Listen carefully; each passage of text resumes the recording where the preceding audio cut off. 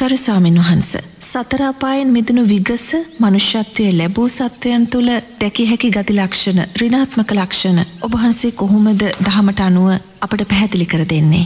රිනාත්මක ලක්ෂණ නෝන සමහරය ඉන්නවා බොහොම විකෘතීන් තුළ මනුස්ස ජීවිතය ලබනවා. එම නැත්නම් බොහොම දුර්වල මන්ද බුද්ධික භාවයන් තුළ ජීවිත ලබනවා. එම නැත්නම් පෙර ජීවිතයේ ලැබුණා වූ දේ ආభాෂයන් ඒගොල්ලන්ට තියෙනවා. එක මහත්තෙක් ඉන්න එයා පෙර ජීවිතේ අලියෙක්.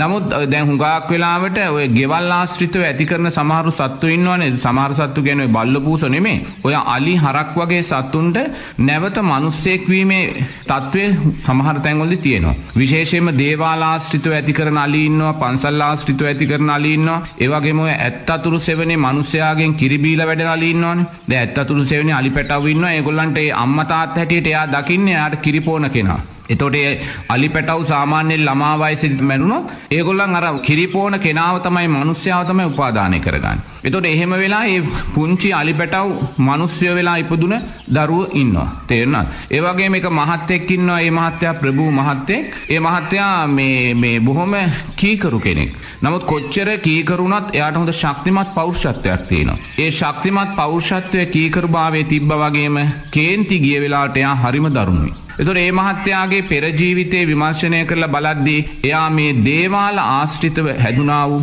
අලියෙක්. එතුව මේ දේවාලාශ්‍රිතව අලි හැදෙනකොට ඒගොල්ලො නිතරම පෙරහැරවල්ලොට සම්බන්ධ වෙනවා ධාතුන් වහන්සේලා වඩම්මනවා දහස් ගණන් ලක්ෂ ගණන් මිනිස්සු සාධකාර දෙනවා හැමදාම් උදේට දේවාලයට බුදුරජාණන් වහන්සේට බෝධීන් වහන්සේට චෛත්‍යරජන් වහන්සේට වන්දනවා මේ හේතුන් නිසා මැරෙන වෙලාවේ එයා මනුස්ස චිත්‍යයක් සකස් කරගන්න මනුස්ස ලෝකය කෙරේ උපාදාන. ඒමය අලි ජීවිතය ඉඳලා මේ ජීවිතේ මනුස්ස ජීවිත ලබනවා නමුත් ලබද්දී එයාට අර අලියාගේ තියෙන්නා වූ ගති ලක්ෂණ පහළ වෙනවා. කීකරු භාවයේ තියෙනවා. නමුත් කේන්ති ගිය වෙලාවට එයා බොහොම දරුණු වෙනවන. ඒ වගේ තව මහත්තයෙක් ඉන්නවා එයා පෙර ජීවිතේ හරකෙක්. ඉතින් එයා හරකෙක් කියන්නේ එයා මේ ගෙයක් ආශ්‍රිතව හැදුවා වූ පිරිමි සතෙක්.